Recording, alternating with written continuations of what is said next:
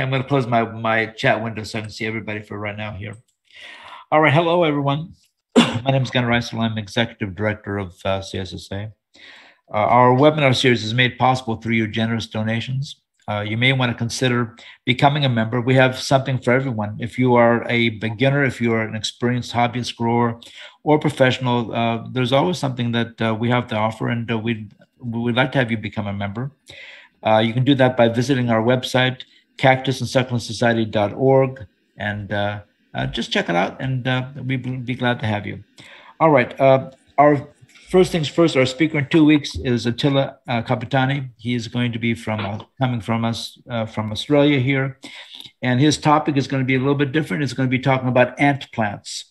If you're unfamiliar with ant plants, this will be a, good introduction to you. And he's written several books on ant plants, so it'll it'll be good. All right, let me introduce our panel today. Uh, from my on my left there is is Irvin Lightstone. Irvin, hello, uh, from the Dallas area here. Uh, then uh, moving around here, uh, we have uh, we have uh, Jackson. You know Jackson. He's one of our regulars here. From um, you're from Littleton too, aren't you? Littleton? I am. Okay, so we have two people. We have Rod Haney, one of our board members, vice president, matter fact, from Littleton as well here. going down the list here, we have James Lemos. James, welcome. And uh, James is from, I would say LA. Can I say Los Angeles? That's that's it's closer than than if I say Altadena, nobody knows where that is, but people know where LA is, right?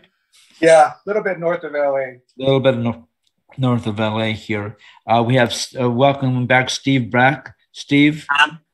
Hello, everyone. Back from uh, from your trip to uh, to Big Bend, right? Right. Uh, I understand it's it's a very successful trip here. Steve is the founder and uh, former owner of Mesa Gardens in uh, New Mexico, well-known nursery here. Uh, we're joined today by by Petra uh, uh, Crist. Uh, hello, Petra. Hi, everybody. Petra, Petra is she has a nursery called Rare Succulents in in Rainbow, California uh, well known in the California area as a as a as an excellent grower here, and I think we've I think we've talked to her. At least we hope we've talked to her about being a regular a panelist for for us here. So welcome aboard. I'm I'm glad to have you here, and it'll be you're you're going to be a wonderful addition uh, to uh, to our our group here. And then of course our speaker today, uh, Steve Hammer. Uh, good morning, Steve. Good morning. Good morning. Good. To, Good, good to see you, of course. So we've been chatting for a little while here, but been chatting a little bit about music as well. So uh, we'll stop. We'll stop that nonsense pretty soon. All right. Uh, so a little bit about before we start, a little bit about Stephen. Stephen is owner of Sphaeroid Institute in Vista, California. Uh, his nursery really is renowned. It's almost it's I would say it's ground zero for Mesemb collectors all over the world. People visit him from all over the world here and it's kind of a destination. And uh, and I, I, think we're very happy to have him be here. Of course, uh, he's got an extensive collection, succulent collection, and uh, people see him not only for his collection but also for his personal charm and certainly for his knowledge as well. Here, uh, as I said before, one of his other talents is that he is a an accomplished pianist and. Uh, uh, we're, we're, we're glad that you you know that you came to our side here but i'm sure you would have made a, a wonderful career out of being a pianist as well here uh, stephen has had extensive travels in south africa uh, sometimes twice a year for many years with other people including uh, ernst von Jaarsveld, uh, bruce bayer uh, uh, Steve Brack, is with us today as well here, and which makes him one of the elite STEM experts in the world here. he's written he's written quite a few books here, some of them with interesting titles like uh, Dumpling and His Wife, New Views of Treasures of the Veld, Felt, and uh, uh, a number of other uh, well known books as well. There's too many to read list here. Uh, Mr. Hammer is uh, a fellow of the Cactus Succulent Society of America.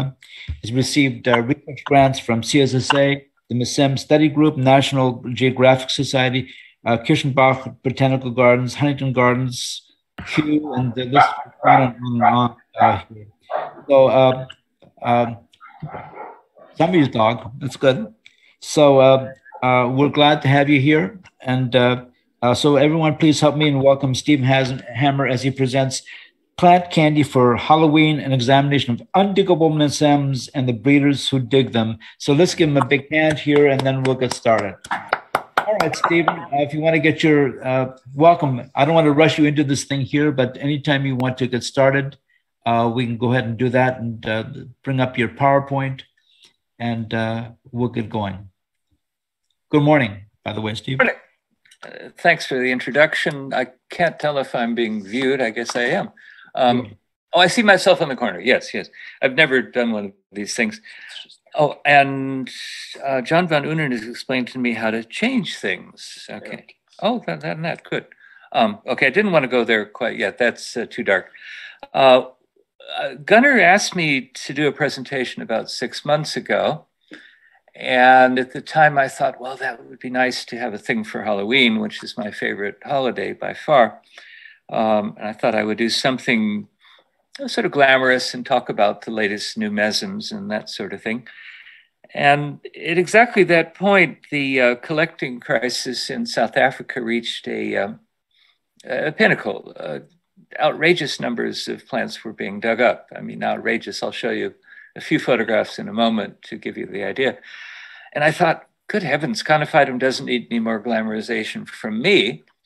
On the other hand, I was for many years probably its principal glamorizer. I mean, if you wanted to read about Conophytums, you had to deal with Steve Hammer and his prose and that sort of problem. And uh, so I was I, I won't say I was the initiator of all the digging, but I presented the photographs and the descriptions that made these plants seem more desirable than they might have seemed otherwise.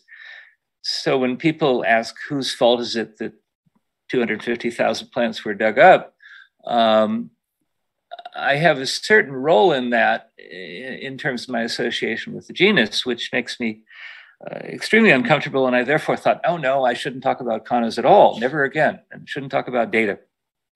Um, shouldn't make them more popular than they are already. Uh, but I, on the other hand, I think the the uh, horses are out of the barn already. There's nothing I can really do about that. Uh, and then I thought, well, uh, the more interesting thing to talk about might be what happens to the plants once they reach cultivation and what do we do with them? And uh, how long do they live and do we turn them into cultivars or, or what do we do with them? And, and why do we do it? And, and who's doing that too? And from that derived the idea of plant candy. In other words that a lot of the plants for us uh, are somewhat divorced from south africa. They have become entities under cultivation in themselves and, and we can enjoy them for what they are and what they can become so i'm going to be showing pictures of that too but first, a few pictures, and I think this button will do it. I hope this button will do it. Which button is not doing it? Let's see. That one. I'm looking for my PowerPoint button. Hmm. Ah, okay, yeah. And I, yeah, here you can see a shipment uh, at the Johannesburg airport. Now, in these boxes were lots and lots and lots of intercepted conophytums. Now, look at the next picture. Um, on the left, you see Conophytum acutum in more numbers than I would have believed existed in the wild. And then on the left, we have Conophytum achabense, uh, which is a conophytum that Steve Brack and I found in 1986. So this particular heist I took particularly personally because I was responsible for the fact that people knew it existed in the first place. And again, it's astonishing the number of plants. Uh, look at that, there's thousands of them. Uh, and another indiscretion involved here is the fact that I named the conophytum after the farm, the farm Achab, and the name gives it away right away. And way back in 1988, uh, I discussed that with Charlie Glass, and I thought about it seriously. Should I name it after the farm? but my thinking was this plant is so obscure and so ugly, nobody's going to ever want to dig it up. Well, I was wrong.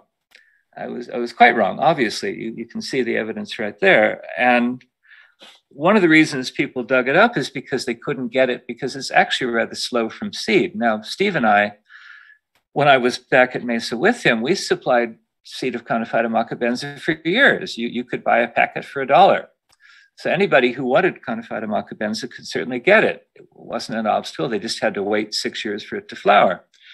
The problem came about when all of a sudden Conophytum became a craze uh, around the world, but particularly in the Orient. And instead of having 50 people wanting to grow Conophytum achabense, you had 50,000. And that was an unsupportable market. There was nothing any of us could do here. Uh, I couldn't, you know, I have I have six little achabenses, and they produce maybe 300 seeds a year. And in the face of, the demand for 20,000 plants, that's no good. Uh, and all the other people, including Matt Opel and many skilled English people, they have it too. So the annual harvest was maybe a thousand seeds, and that's that's no good uh, compared to the demand. So what do we do with the demand? What, what do we change it into? Uh, here's another instance of, of demand and supply. Look on the left, we have Conophytum bergeri. Now, this particularly infuriated me because Conophytum bergeri was one of the first things I tried to introduce way back in the 1980s.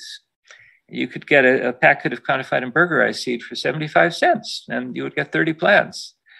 Uh, and, and there are probably a million plants of this in China that are flowering right now. It's well established in cultivation. Uh, there's no conceivable reason or excuse for collecting uh, one of them, let alone 500 or whatever terrible number that is in the left hand picture. And in the right, you see clusters of various conophytums. Uh, the explanation for the desire of that is that people, of course, do like old collected clusters. They want an old big plant uh, which is maybe 50 years old.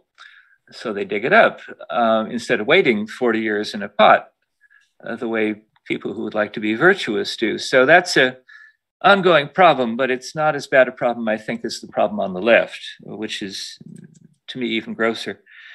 Now we will switch to a happier topic. Um, I think if I get the button right, let's see. Hmm, my button is not working. Ah, no, we've Ah, yes, here we have. No, um, this is this is in honor of Halloween. Uh, this is what can be done with these things in cultivation. Uh, in this case, it was done by Mr. Shimada, one of the very well-known Japanese breeders who's been working on cultivars of lithops oh, for the last, I think, 40 years at least. Uh, this was the one that particularly glows, called Shimada's apricot. Uh, it's actually rather rare in cultivation. I don't think there's many plants of it around, but I happen to have three. And one reason it's rare here is that it doesn't like to flower. At least it doesn't like to flower for me. The plant you see, John Van Unen took this photo about, you know, let's see, I think four months ago. And it looked like it was about to open up, and it still looks the same. It hasn't budded yet. So this thing is going to remain a rarity for some time. But it has a very interesting color, and it takes us rather far away from a normal Hookeri marginata. Now, if you look on the next picture, if I can get the button to work. It's funny. Uh, here we see another possibility of extrapolation in, in lithops. Uh, you can take lithops julii, which is the one on the left, and you can take lithops euniceae, which is the one in the middle. And despite the fact that they belong to the two different subgenera of lithops, you can in fact cross them. And you get the creature on the right, uh, has a very interesting pattern, very much halfway between the parents has a halfway in between flower too, which is yellowish white and very big. Uh, it's a very strong plant. You can see very healthy, and it's a very nice plant to grow. Uh, in, in, a certain sense, I suppose you could say that my making this kind of cultivar hybrid uh, has, has become a substitute for field work. I haven't been to South Africa for 14 years, uh, which is really quite ridiculous, but it's, it's, it's the fact. Uh, instead, I sit here in Vista and I make my own cultivars. Um, which are popular and uh, which actually provide some sustainable income. It's, it's really rather funny. Uh, and I have to say that I think in this case, the creation of cultivars at least involves no further damage to nature. Uh, as I said before, nobody can dig them up. Uh, they, they don't exist in nature. They never will exist in nature. And these two would be impossible to exist in nature. They're 500 kilometers apart. So they will never meet but they can meet in a greenhouse and make a very interesting plant, very, very attractive. John's going to push the button for me because I'm too stupid. Uh, let's see. Or my oh, there, there. Oh, well, yeah. Now the next one. Yeah, here's another extrapolation. You can take Lithops gracilidelineata, which is normally sort of ivory colored or grayish colored, but it can be orange. And you can take a cultivar of that and add another cultivar to it, and you end up with another pumpkin, a very effective looking plant uh, with a very nice pattern. Um, you can see some plants that people would call cafe au lait from the white creamy islands, and you can see others that people would call brand cafe, uh, which is more the orangish type, the one on, on the right. Uh, they're, they're very nice plants. They're rather slow. They're not as easy to grow uh, as the parents. Unlike a lot of my cultivars, they're more difficult rather than easy. I generally try to make them so they're more accessible to cultivation and not the opposite. But in that case, it didn't happen. And you put up with it. You try to you try to breed a better one is what you try to do. Now we got to switch another button. Hmm. Oh, okay. now we just skipped one. Um, that that is uh, Conophytum subfenestratum, which is curiously enough uh, has escaped most of the commercial digging, uh, at least so far. And I, I, have to say, there's some good news. I believe that the onslaught of field collecting has pretty much finished, partly because the price dropped, uh, terrible as that reason might be. And nobody was digging up this particular one because it's so well established in cultivation and it's so easy that it just hasn't been touched very much as far as I know. Uh, Carol might know other stories about it, but I, I, hear about some of the collecting. I don't hear about all of it, of course, but I, I do hear uh, problems reported by Nature Conservation. And this one isn't on any list that I've seen, at least not lately. Uh, but you can see it's a very beautiful plant. Now I show it here partly because this one has a very interesting pattern, that, that cross on the top. You don't see that very often. So I'm trying to turn this one into a cultivar on its own. In other words, I'm trying to enhance a pattern that the plant already has. Uh, just I just do a back cross and then I can see if I can get another one. And sure enough, you can. You can basically, as a breeder, you can enhance almost anything you want. You have to be willing to do two or three or four generations, which may end up taking you 10 or 15 or 20 years. Uh, a lot of these I have been working. Well, here's a good example. Uh, go back for a second if you could. Okay, this, this is the one I called Zorro, and which is pretty rare in cultivation because it doesn't normally uh, end up like this with a nice Zorro pattern, like his, uh, his, his, mark of the dagger or the sword. Um, and supposedly it doesn't stay the same, but that's not actually true. These have been the same for 40 years now. Uh, these were actually bred not by me, but by Ed Storms. And when I saw Ed's collection, which it was in the, it was had been adopted by Jane Evans, uh, who has, of, of course, living uh, living stones in, in Arizona. And so what I saw when I saw Ed's plants was obviously a work in progress. These are various cultivars that he'd been working on himself. Uh, hadn't had time to finish because he died terribly prematurely and unexpectedly. So what we were left with was a lot of interesting evidence, and this was obviously something he had bred. Uh, he had a whole flat full of it, and he must have been looking at the same attractive patterns that Jane and I admired, namely the reduction of the usual window into a sort of a, a thin band. Uh, you can see more on the right. Uh, some of these come actually, the ones on the right come from uh, from Tim Jackson, who's also been breeding these. Uh, Tim is another very accomplished breeder in California, um, and he's been he's been doing it almost as long as I have. Uh, there's a lot of people involved in this work, uh, not just the younger people and, and not just a few more established people like myself. There, there's a lot of us. Uh, some people just don't write a whole lot, so you, you don't hear about them quite as often. For some reason, my cursor is not obeying. I don't know why. Let's see. John is fiddling with it. Let's see what we can get it to do. Hmm. That's strange. The buttons don't do anything. Yeah. I don't. Oh, okay. Well, uh, we've skipped a couple, but that's that's um, we'll improvise here. Yes. Okay. Here is another uh, cultivar involving Lithops julii. Now, this is the one I called hot lips. And I think that's pretty obvious why I called it hot lips, those, those red markings. Uh, I should have named it Dracula's Feast or something like that in honor of Halloween. That would be good. But if you cross hot lips, the one on the left, with peppermint cream, uh, the one seen on the ultimate right, uh, the, the single plant, uh, you can see that you can keep a green body and unite it with red lips.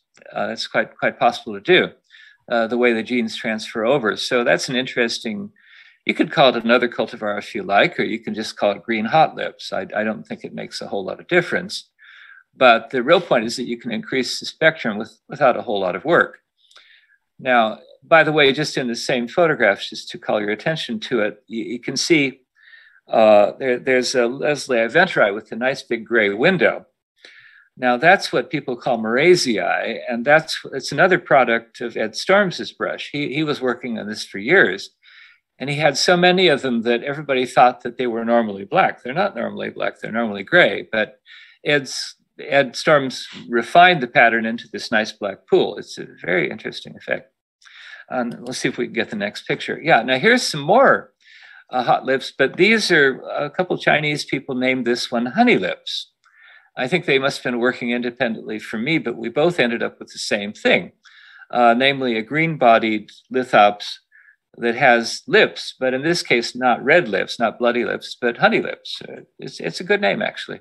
And it's surrounded, in case you're wondering, by aucampiae euniceae uh, bellicetti, which is an Italian uh, cultivar, a very, very widespread and effective one, which is quite easy to grow and has taken over cultivation quite effectively.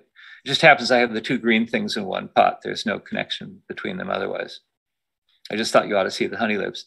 And here's some more hot lips. You see, these are sort of orangey lips and bloody lips. And so you can, and there's another green one on the upper right portion. So the, the spectrum can be increased all the time. And there's, there's really no end to it. Let's see what they have. Oh, now we're back to Dorothea. Now here's some more Dorotheas, more Zoros. And the reason I wanted you to see this one, if you look at the plant on the right with that trilobe nature, uh, some people like them that way. I can't stand them that way. Steve Brack used to call them three bangers from an unfortunate habit of calves being born that way. But um, I find it very strange looking, but it is, I think, partly the product of inbreeding because most of these cultivars uh, have severe inbreeding problems. They, have got to. They've got one mother, and then she's used as a grandmother and a great grandmother. Uh, at least that's the way I usually do it. And every time I do that, I, I reduce a certain degree of vitality and I increase a certain degree of weirdness. Now, if you want weirdness like variegation, that's fine. You'll get variegates too, and you'll get three and four and five lobes. Uh, that's one way to do it. Um, it often uh, short circuits itself, though, because such a plant is not so likely to flower. So you get very strange reproductive problems too, but you can also get beautiful plants like the one on the left. Now, anybody worrying about cultivars would probably remark that the one on the left isn't a particularly good zero, and it or zero rather, and is more typical of a really elegant normal uh, Dorothea, and that's true. Uh, a great many cultivars are, in fact, not uh, truly stable at all. Now, are they therefore cultivars? Are they attempts at cultivars? There was one year when I was still with Steve at Mesa Garden. And one year we offered uh, Lithops otzeniana, green otzeniana, and I called it green attempts now, that wasn't a description, that wasn't a name, it was just a description of what you might get if you sowed the seeds. Well, I then found that appearing on all kinds of labels. It's not a real cultivar name, it's just a, it's an aspirational thing. Some were green and some were blue and some were normal brown. But and, anyway, you, you get a lot of failures when you do cultivars. You get mostly failures. You have to get used to that. You get interesting failures, put it that way. Now we can switch. I think we can switch if my cursor works again. Come on, cursor. Ah, okay. Uh, uh, moving, moving forwards and backwards. Uh, here we have something which is not a cultivar at all. Uh, this is uh, Maughanii Conophytum armeniacum. Uh, it's an interesting form that I found with Chris Barnhill way back in 1996. And it's outstanding, for, well, you can see the outstanding feature, this beautiful red color uh, which is really permanent. It, it doesn't change into this color, it keeps this color. And it's therefore an extremely good uh, parent for breeding because that red is going to dye anything it, it touches. Uh, I learned that a long time ago about the cultivars. If you want a really intense color, pick the best, darkest plant you've got and, and use it extensively, and it really will work. But in this case, the red is particularly beautiful. And it, it's also a curious form for people who are interested in nature, that is, in real nature. Uh, it grows on concrete instead of uh, the normal uh, uh, quartz where you'd expect it. So it's an interesting form too. And it's also found quite far to the east of where it should be. So, so two little features it has. Okay, next picture should show us. Yes, yes. Uh, this is this is a very famous cultivar now, um, and this one, this cultivar really had four points of origin. Uh, the first was Rolf Rawé, who used to write articles for our journal way back in the '60s, many many articles about conophytum. Uh, in a way, he was my direct predecessor, and he he really should have written a conophytum book himself. I wish he had uh, his interest took other forms and he got into tillandsias and orchids and cacti and all kinds of things. But in his heyday, he was a great conophytum explorer and uh, grower and distributor. I mean, you could get many, many seeds from Rolf Rawé in the 60s that went to the African Succulent Plant Society. And Wittebergense, or minimum as I call it now, was one of his most popular distributions. And I decided to see maybe, I thought, almost 30 years ago if I could breed one with a darker pattern. Uh, instead of the network you see, I, I wanted something all black. And I, I, essentially gave up on the project after about 10 years of effort because the plants would always revert. They'd be good one year and the next year they'd be dull. And so I gave up, but I gave uh, plants and seeds to Chris Rogerson and Andy Young in, in England, and they carried on. And they had more patience than I did, and they had better luck. And I think they just worked harder and they ended up with these superbly black plants. Uh, this uh, John Van Unen took this picture when the plant wasn't looking as good as it can look, but in a good year, uh, it's completely black. It's a wonderful velvety look. Um, so you, you, can work with that, and you can cross it with other things, as we'll see in a second. But uh, if we go on to the next picture, yeah, well, here, here's the example. If you cross this with maughanii, we just saw that nice red maughanii. If you cross that with Wittebergensis, you keep part of the color of the maughanii, but you keep part of the pattern of the Wittebergensis in this very elegant kind of tracery, which I find very appealing. And this is one of my most popular cultivars. I don't think I ever named it. I just said the formula and people wanted it. So maybe somebody else has named it. I don't know. Um, but it's beautiful plant. It's strong. It's healthy. But it has one of the, the defects that many cultivars has. It's sterile or nearly sterile. If you look at the fruits, they don't look very good. They're not very filled in. There might be two seeds in there, and one of them might be good.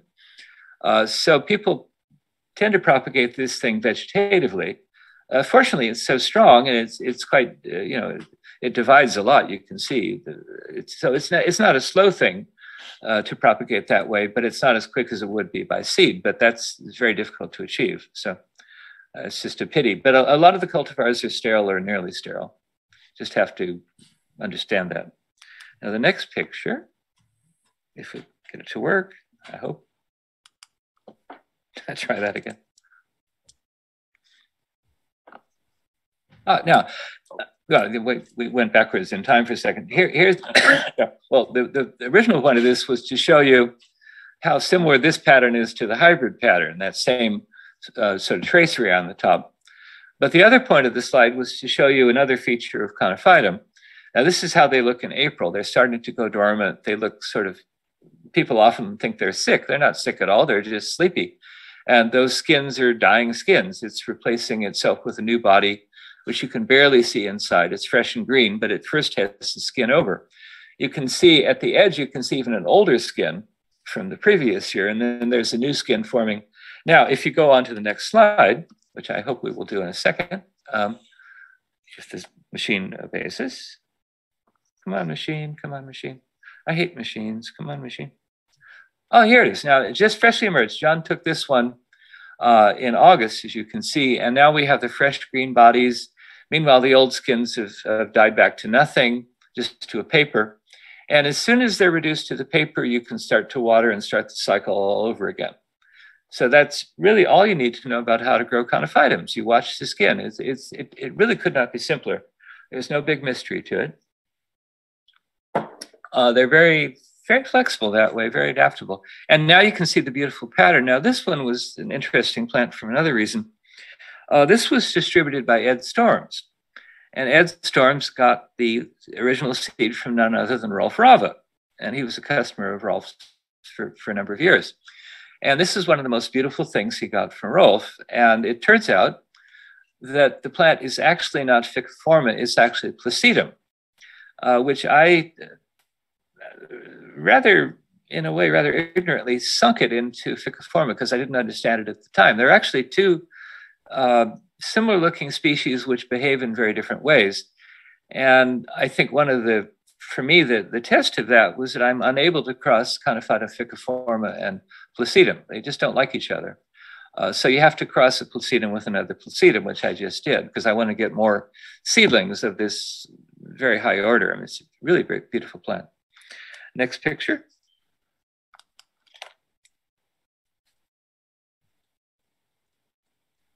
Should work. Should work.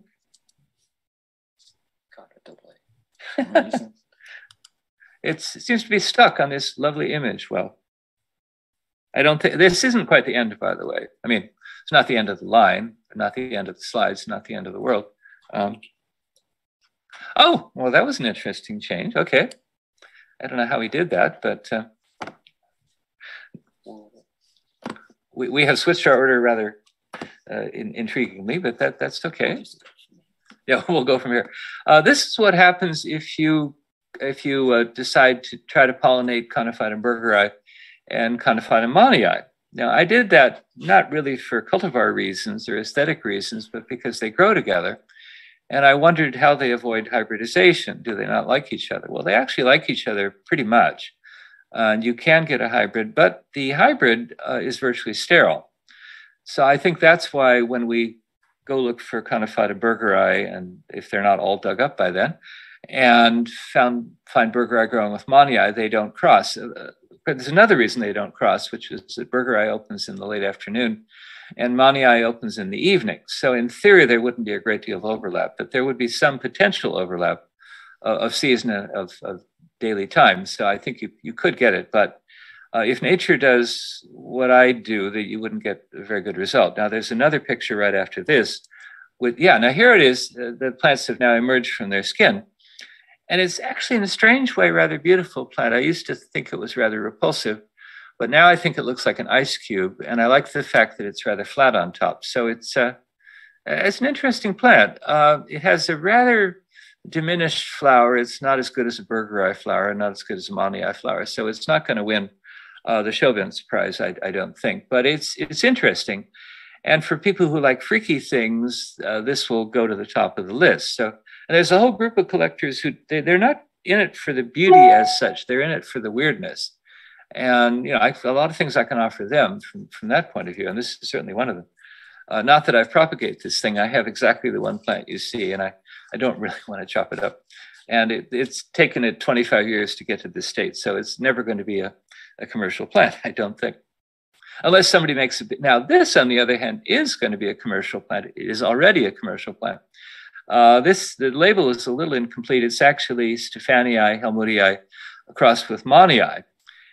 And uh, in the uh, lower right corner, you see a pure subspecies helmutii, uh, lovely little fuzzy bodies. And the, the dominant picture with all the all the heads, that's uh, helmutii crossed with maughanii. Maughanii being the female. And you can see it's incredibly prolific. It's very strong. Every head flowers. Very, very, very easy to grow, very easy to coax out of the skin. Uh, the skin is the skin on the upper right. That, that's a Don Juan, which is the name of the, the, uh, the hybrid. Uh, when it's dormant, it looks awful. Uh, it looks, looks dead. It's not dead at all. If you cracked open one of those little envelopes, you would see a fresh green one underneath. But you wouldn't want to do that because that would expose it to the rays of the sun and this was taken in midsummer. So you're better off just leaving it alone and waiting until October, giving it a drink, and then it'll pop out gloriously and flower two weeks later. It's it's one of the hybrids that I feel most justified in having made because it's easy, it's quick, it's it's beautiful, it has wonderful perfume, uh, and it's uh, just just a good plant for for cultivation. Now it, and I don't think it's also there's often the argument offered that cultivars and hybrids are confusing. Well, they're confusing if you lose your labels, but they're not confusing at all. Nobody is going to confuse the big one and the little one. They're, they're quite different organisms. And another interesting feature, the, uh, the hybrid is nearly sterile. And of course, the Helmuthia hyemuldia is not sterile at all. So, uh, and it doesn't even like to have pollen from Don Juan. It wants to be pure. So uh, I don't think they're going to be confused in the future. Also, the one is short haired and the other is long haired. So I'm not so worried about that kind of confusion. In the case of lithops hybrids, I think there's more, more to worry about. Now, th this is a little bit confusing in, its, in a couple of ways. Uh, if you look at the three images of the, the windowed plant, or the, well, the, the clustered windowed plant, uh, this is the sister of Don Juan. Now, you would hardly believe they came out of the same fruit, but they did. Uh, this one doesn't have any hair, but it has much more windows than Don Juan. And it has a rather similar flower, but not as good. It's pink instead of, instead of red or maroon. But it's a lovely plant, and I named it after my beloved mother, uh, Eleanor, because it sounds like Eleanor Rigby, which is the only Beatle tune that she knew or recognized. She was a, a classical musician, and she was much more strict and snobbish than I am about classical music, but which was, and, and she didn't even know who Frank Sinatra was, which is amazing. But she had heard of Eleanor Rigby and she actually admired the Beatles. So this is Eleanor's ruby. It's a beautiful plant. It turns a ruby color a little later in the season. So it's beautiful. Uh, it has a weed, by the way. If you look on the left hand side, you'll see Villetii deboeri. I have a policy that I've had for years. If a weed comes up in a pot, I leave it. Uh, if it's a lithops weed in particular, I don't want to disturb it. For one thing, it's always healthier than a non-weed. It somehow chose to grow there. And I want to see what's going to happen. There are other weeds in the pot. There's, um, oh, there's half a dozen other lithops. But it's just, it confuses the image visually, but I didn't want to remove them. So there they are.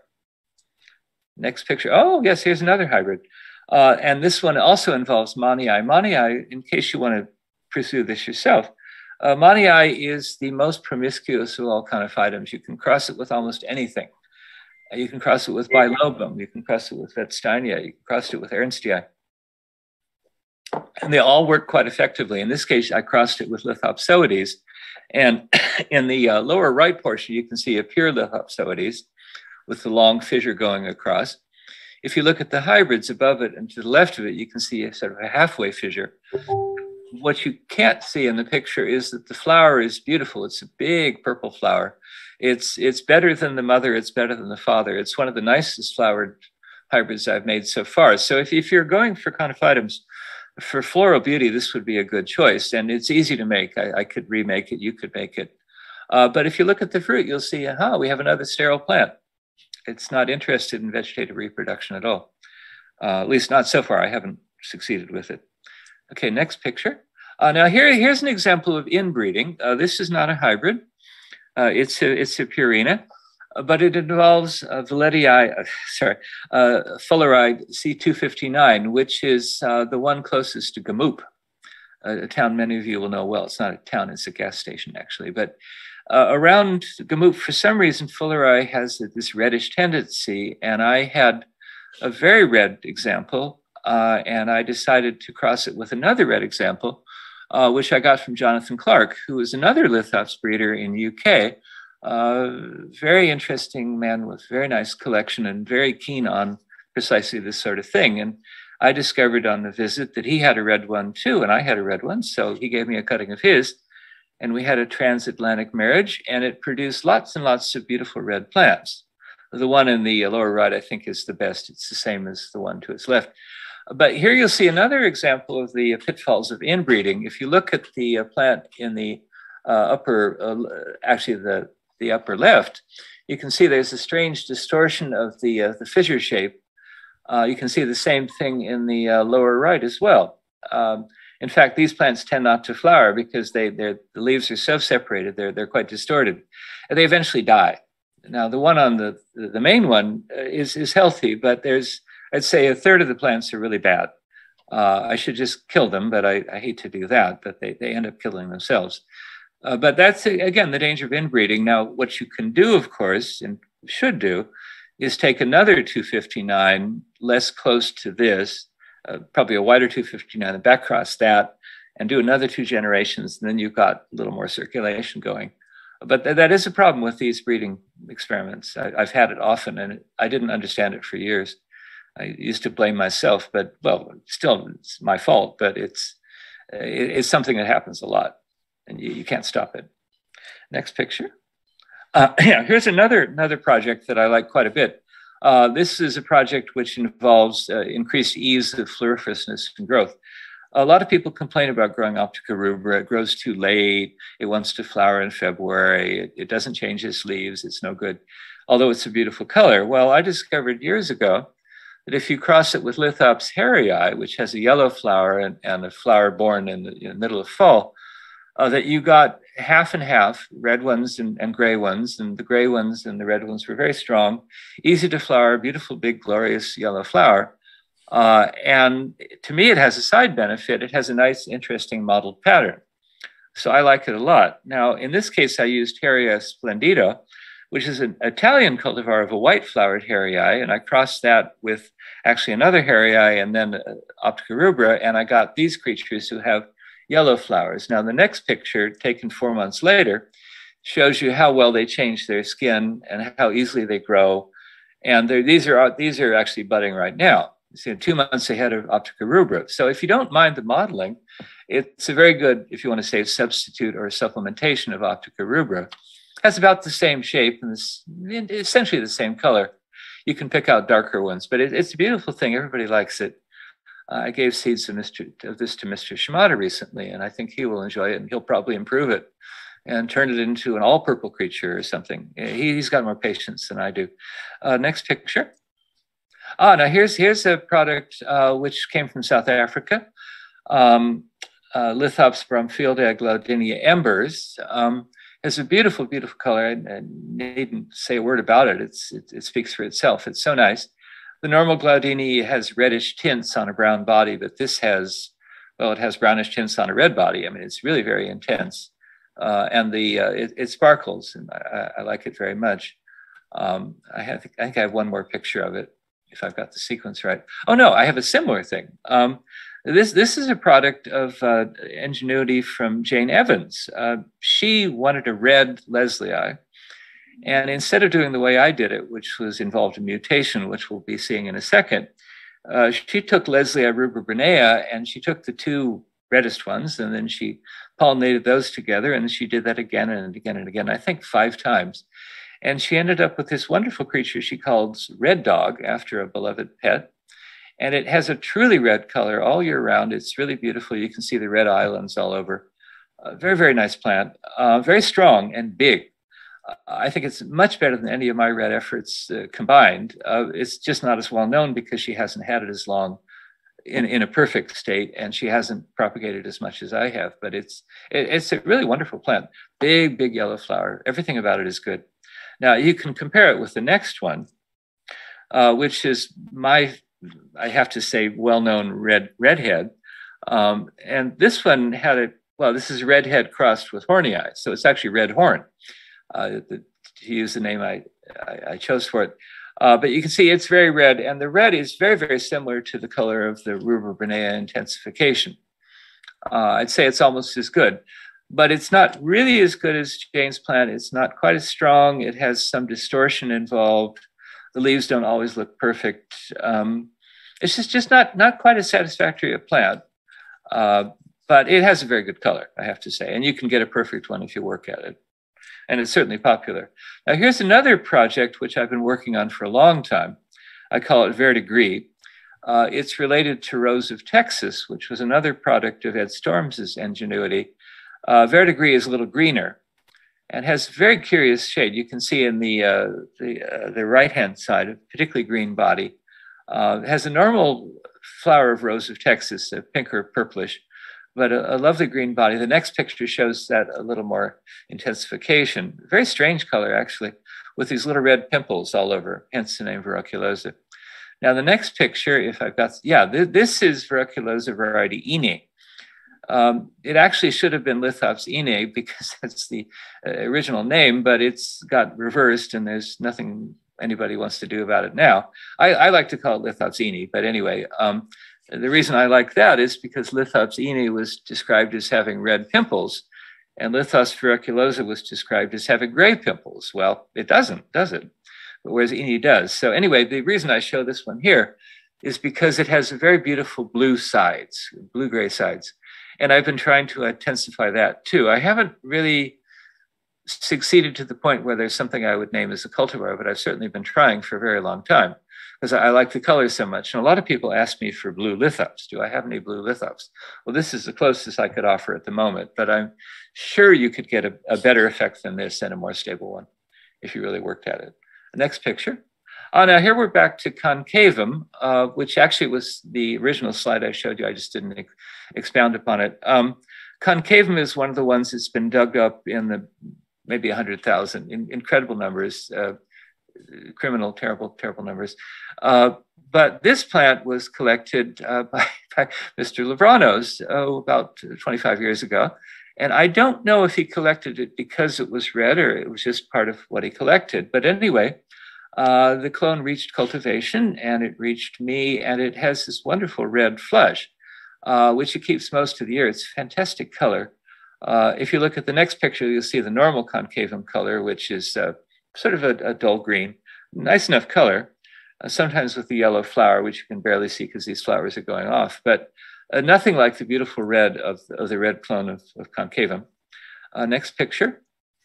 Now here's something which hasn't been uh, attended to by hybridists, or at least not very much, uh, Conophytum heleni, another product of, of Rawé.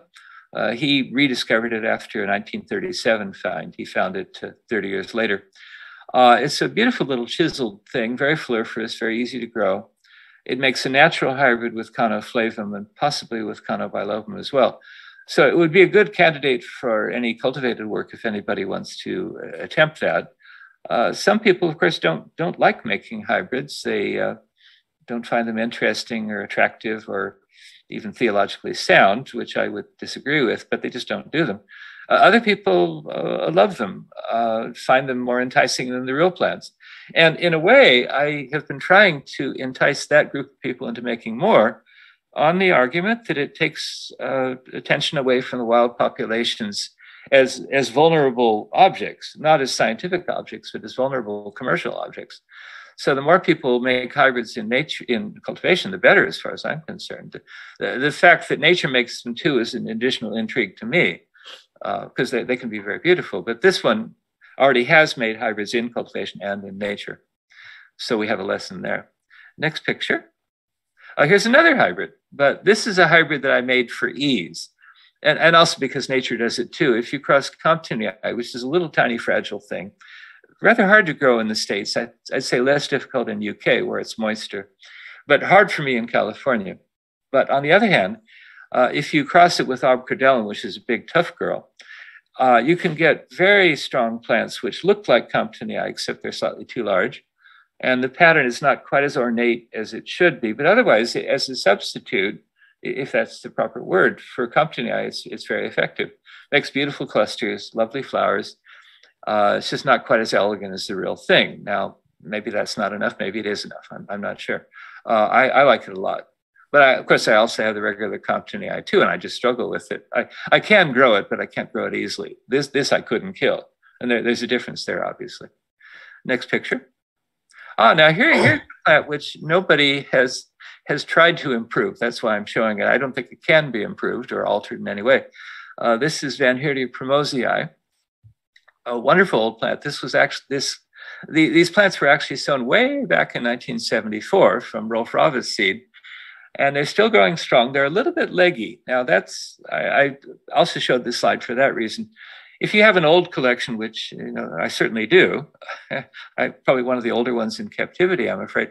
You have a lot of old plants. They're basically going senile. They're going old. They become old and stemmy. Now, what do you do about that? Well, you can die then you don't have to worry about it. That's a time honored solution. I don't really like that solution for myself, although I will, of course, reach it eventually, although I have plans for that too. But anyway, um, what you can do if you choose not to tempt fate is to chop up the plants. Now, what I should do right now, next week, is take all those old poor primosias and chop them down uh, to a third their size, get rid of the stem and reroot them and have a new plant, which will then live another 50 years with no problem. If I don't do that, the plant will eventually die because it'll become too weak from stemminess. This is also true with conophytums. It's even true with lithops. But most people don't let their lithops get 60 years old. But if they do get 60 years old, they will also become leggy, certain clones especially, and then they will do the same thing. They, they will die. So you really do have to chop them up. Um, now, as for the breeding aspect, I have tried to cross this with a few things without any particular success. I can cross it with its sister species, but you just end up with a Van Heerdy with a less pronounced window. Uh, so it's probably not a good idea. Next picture. Now, th this was maybe a good idea, maybe not a good idea. This is what I call Ratburger. I actually did it because I thought the name was funny. Uh, if you cross Conophytum ratum with burgeri, you get a Ratburger, and they are uh, they're fertile. Uh, they work pretty well. They're pretty strong. Uh, I don't think it's quite as beautiful as ratum, but it's probably in a way more beautiful than burgeri. Uh, they're neighbors, by the way, the two species. And I was curious if they had any compatibility because I think they're derived from the same Urburger, probably. And here they are. You can see it's a perfectly healthy thing. it's one of the rare hybrids I've got, which if you handed it to me, I would probably mistake it for a wild species. It doesn't there's nothing quote unquote defective about it, and there's nothing outlandish about it either. But it isn't quote unquote not a real plant, it's a man made product. Next picture. Now, here's something also nobody has worked with, um, but I show it here because it's very, very old. These are Glottiphyllum pygmaeums from seed that Gerhard Marx and I collected way back in 1990, 1991. Uh, now, these plants are a little bit bigger than a quarter, it, so it's pygmaeum is a good name for it. Um, maybe a silver dollar. Lovely little thing. I repotted them recently and they actually grew more than I quite wanted them to because I like them to be very, very tiny and colorful. But it's it's a wonderful species which has been sunk uh, into a Glottiphyllum. I think it's Pearsia, where it certainly doesn't belong. I think it's a good species all on its own. And it occurs on a farm where at the head of the farm you see there's a signpost that says home to 10,000 sheep. And you think of that, you think, oh, that's home to 10,000 quivering glottiphyllums because what are they going to do with the sheep? As, as it happens, they hide in the shade, and I don't think the sheep have found them. But it is a rare thing, and you, you will see it a little bit in UK cultivation. There's some very old plants there, and people also have been chopping them up. So obviously, I'm not the first person to discover that you need to chop up your mesembs every 10 years. That was well, that's been known since Haworth's day, it was 1830. So you, you do have to chop them up. Next picture. Uh, here's another way to do red horn. Um, and if you if you look at it, you can see, and, and Russell Russell Wagner gave this one a new name, uh, the, the so-called brown horns. He crossed the brown horns together, and he got what he calls bronzino, which is this this creature in the lower left uh, or the left-hand side, I should say. Now, if you cross enough bronzinos together, you may get more red horns. You can see there's two beautiful red ones in the middle. So that's another way to do it. Next picture shows you, now this, this is funny. Uh, this is an unaltered, un undoctored Lithops lesliei, the plain old Jane lesliei that we knew when, when we were children. Um, there's absolutely nothing wrong with it. It's, it's a beautiful species, beautiful plant, nice and strong. Um, and part of me hates the cultivar world because it tends to lead to the neglect of these old wonderful things, which were you know given to us by nature, and they they don't need quote unquote improvement. All they need is conservation and preservation. Um, I've had this plant for 50 years. It's a wonderful old plant. Um, doesn't grow very much, doesn't get very big. A natural lesliei is not, not necessarily a very big thing. I could turn it into a show plant with a great big pot, but I'm not interested in that. I like keeping it the way it is. I just thought I should show you an, an unaltered Lithops lesliei. You get the idea. Next picture. Here's here's some altered lesliei's. This is when you also when you cross red horns and brown horns, you can actually get variegation of a sort. Look at that red sort of stripe you get. There's two plants in this pot which have red stripes. And of course, I intend to cross those two together to get more red stripes because I'm not unsympathetic to the variegated people. I just feel like I belong to a different species, but still, they, they have their, their rights and, and their ways, and that, that's fine. Uh, I prefer the, uh, the Bronzino in the middle, the, the two headed one, it's, it's uh, sort of skewed because it's been double for quite a while. Next picture. I think we're almost out of pictures, in fact. I think we have three or four more. Uh, this is Conophytum caroli um, or caroli. Uh, this is a, a, good example, which unfortunately has been uh, exploited rather recently. Um, it was discovered and entered the market, and suddenly the, the value went up, I would say, a thousand times, which is ra- rather incredible and, and deeply stupid. And there it was. Now we'll go on to the next picture, which is a variation on that. Um, I'll just say northern because I don't want to say any more than that. But this one has beautiful little ridges, which are not continuous. They're little, little sort of uh, little humps here and there. So it's therefore difficult, uh, difficult or easy to distinguish from a normal lithos verrucosum or confounded verrucosum, which is very rough on top. This is only partially rough, and it has beautiful pink flowers, so it's a different thing. And it's also very tiny. Uh, so that's an interesting new discovery. So I will show one new discovery. Now here's Lithops noreenii, the famous Lithops noreenii, rather pinker than normal, but not nearly as pink as the next one, which is a beautifully pink thing. Now this one was discovered by my friend Sebastian Lee. And he raised a bunch of seedlings and he got four purples and he loaned them to me, thinking I was more likely to get seeds than he was. And maybe that's true. But anyway, uh, two of the the ones in the upper part of the pot have flowered and made seeds already. So it's it's a really wonderful color. I'm very happy to have it. Now we have one last picture which was taken by John. I think I took this one. Was that in August or was April? It was in August. August, yeah. And um, the point of showing this slide is two points. One is that it's a hybrid between Argyroderma and Lithops. Uh, but the other interesting point to me is that it was made around 1950 by Meredith Morgan, who was an optometrist at UC Berkeley, and he was a very good friend of Myron Kimnach. And at Kimnach worked in those days at the Berkeley greenhouse, and so they, they got to know each other. And Meredith Morgan grew everything. He also was the author, if you want to put it that way, of uh, uh, Morgan's Beauty. It's the same guy, uh, Dr. Dr. Morgan. Uh, obviously, a good horticulturalist and a curious one because he liked to combine things uh, like like yours truly. And this is one that I had. He didn't record the formula for some reason, so I spent ten years trying to replicate it. I finally did. Uh, I figured it had to be a windowed lithops and probably Argydelladii because that was the dominant one in cultivation at that point. So I got plants which were very similar, but this is the original one from 1950. And it was preserved by, of course, by Myron Kimnach, who gave me a piece. And then I propagated it, and so quite a few people have it. It's it's not common in cultivation, but uh, here it is, and it's it's a wonderful example of past work that's still still with us. Uh, so I I will close on that particular note, but maybe people have questions. Uh, now I think now I go to me or something like that. Okay. Okay. Wow, wonderful presentation. Uh, whoop, we lost we lost Steve for, for some reason. Where where are you? Okay, there you are. Okay, so Steve Braxton. Steve at all? I see. I see this Steve, but not. Okay, yeah. Okay, I'm going to ask. Uh, What's that sound? To unmute themselves. We have a lot of questions here. Thank you so much for your presentation. Uh, let me unmute uh, Steve. And in the meantime, maybe uh, are you ready to, Steve? Are you ready to to answer some questions? Oh, me? I do. Yeah. Okay. Oh, I used to. so maybe uh, maybe uh, Irvin or Rod, maybe you can pose a question to Steve and we'll get started. S- Steve, uh, what's could you explain more about chopping your conophytums and lithops up? That seems to be the primary questions. Like, how do you do it? Yeah, yeah. What, Well, it's it's interesting practice. You know, if you had, um, let's say, you had a Ruschia, you know, a bushy normal mesemb with long stems, it'd be obvious where to cut it. You're just you're just dividing the thing up. Now, when you have a lithops or a conophytum, you have typically a very short stem.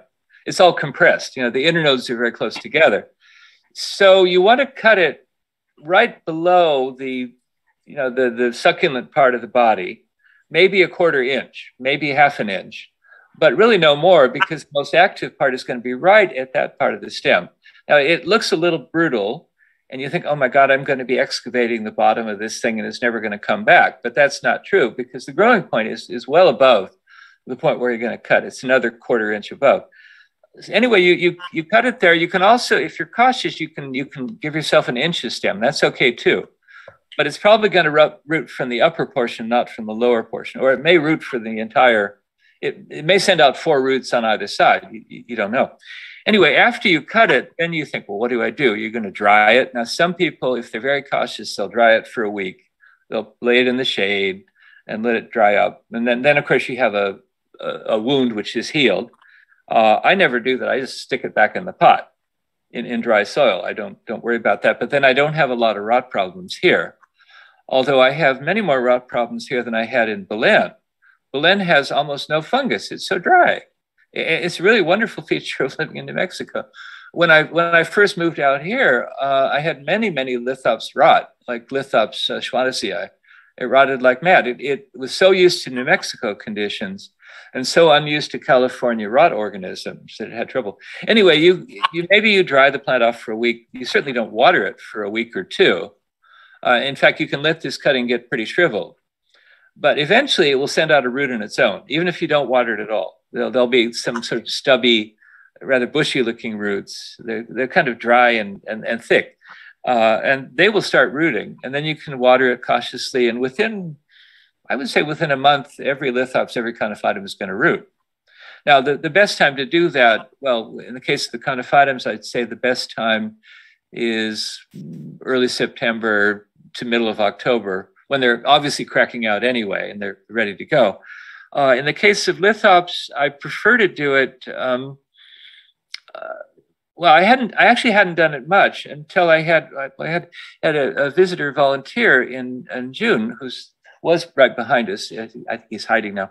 Uh, that's Oakes Austin. And he said, Why don't you chop this old nasty cluster of lithops? And I said, Oh, because it's an old nasty cluster of lithops. I like to keep it as a, you know, as, as venerable specimen. And so he chopped it up. Uh, I didn't have the nerve. He just chopped the thing into 20 pieces. In fact, the one he chopped was Ed Storms's old otzeniana aquamarine. And all those heads rooted, they all flowered like mad. And that was done very late June. So that, that's a good time to do it. I wouldn't want to do it so much now because lithops are essentially, you know, they're flowering now, they're starting to prepare the new leaves. I, you probably could root them, but I wouldn't want to try. It's, it's too, too late in the year, the days are too short and it's too cold. So I, I would wait until April if, if I were doing that. Unless it's a case of desperation, then you could do it anytime rather than lose a plant. Number of questions on soil media. Mm. I mean, what do I use or? Right. What What do you recommend? Uh, well, what I use and what I recommend are two different things. Um, what I would love to use is some ideal soil mixture I cannot get, and I don't know if it exists on this earth. Um, I've tried everything, I have to say. Well, so I'll tell you what I actually use. I use Miracle-Gro if I can plug a brand. They're not paying me. Uh, Miracle-Gro with Aquacore, which is getting worse every year. It gets worse every six months, like all commercial mixes. They start out good. Super Soil used to be good 40 years ago. It's horrible now. Miracle-Gro was really good about 25 years ago. Then they started adding logs to it, you know, un, un, uncomposted things. So you sift out the logs. You, you can do that. Anyway, I use maybe a third Miracle-Gro, uh, maybe a third uh, white matter, which could be a combination of perlite and pumice, one or the other. They have different properties, but you can use them together. And then uh, coarse sand. Now, this the kind of sand you can get is is is, is quite interesting. Uh, I used to, when I lived in Santa Cruz, I used to go out Ill- illicitly to the Santa Cruz River and dig up a little bit from the edge of the river. Now, that was, of course, strictly illegal. I never got caught.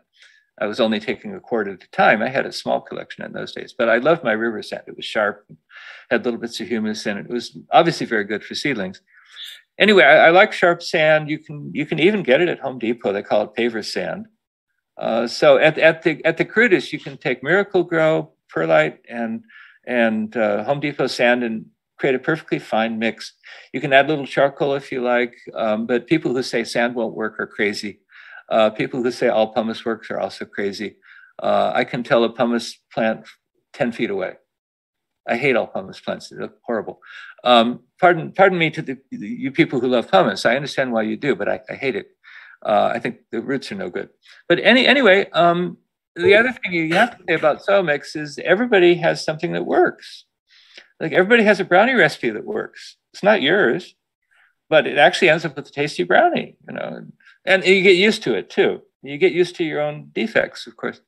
Um, anyway, it's it's not complicated. I mean, if you have a difficult mesemb, you can add some more pumice, like the Vanheerdea primosii, which is highly crack prone. It's not rot prone, but it's highly crack prone. That's in half pumice. It's the only plant I do that with because I, I, don't want to overwater it. And you could see that in the in that in that photo there was not a single crack. So I, yeah, I've done something right or something natural anyway.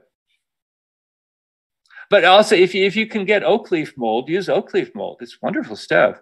Um, you may remember, real old timers remember that Johnson's used to sell oak leaf mold in, in the 50s and 60s. You could get a bag of what he called sclerophyllous oak leaf mold. I think it was $6.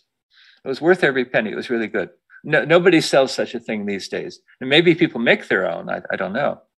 I'm, I'm too lazy, but I, I wish I had it.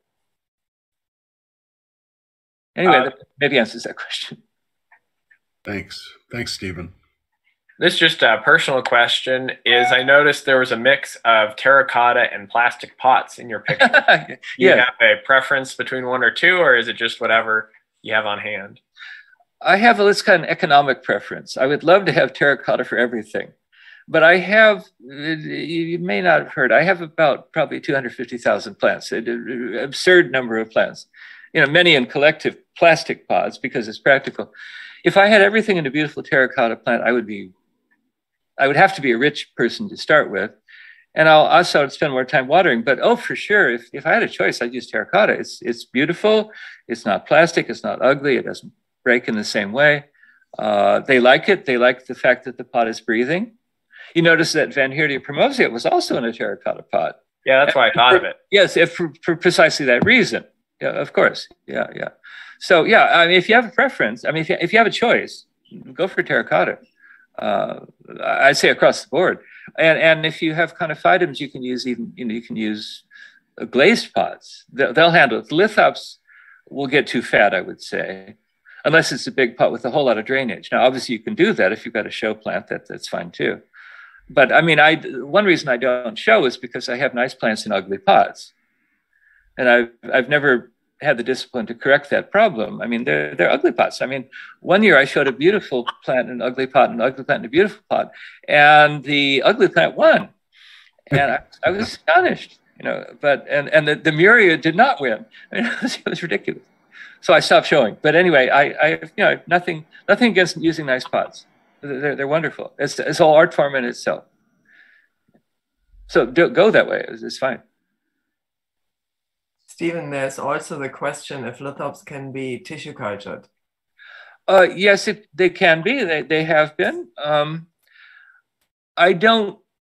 I don't know why one would do it. I mean, one of the things that saved lithops, to the extent that lithops have been saved, is that their seed production is so fertile and so easy, and the Coles did such a good job of it over many, many, many years that you know, unless it's some special marvelous clone, you know some super thing um, maybe that exists but I, I haven't seen one that i thought oh that has to be tissue cultured. Maybe, maybe you have I, I, I don't know. But yeah it can be done and conophytums can be done too. Although it's even funnier in the way of conophytums because conophytums divide so well typically you know they make big clusters. Uh, you, you, can you can get 50 conophytums in a year and you can take 50 and in 10 years you could make 5000 they're, they're quick really once they divide. There's something from Keith Green, uh, a request oh, yeah. forwarding from Naureen Cole that Cole numbers should no longer be used. Oh, I, I have agreed with that for 30 years. I, I, I thought it was always a, a, a mistake. Uh, well, a mistake is not quite fair. Um, uh, at Mesa Garden, Steve and I began, we would say uh, C1 uh, XC1 or, or F2 because what we were doing, we were pollinating Cole seedlings, which were produced from Cole plants, but there's already two levels of indirection there. And even if we were perfect, we certainly tried to be perfect, and the wind never bothered us, and thrips never got there, and any of that problem. Uh, the level of guarantee gets lesser and lesser, and also the level of manipulation, because people like me you know, wicked or not, uh, you know, we, we like to favor our red C259s. Now, after I have four generations of C259 and made it bright red, is that C259 anyway?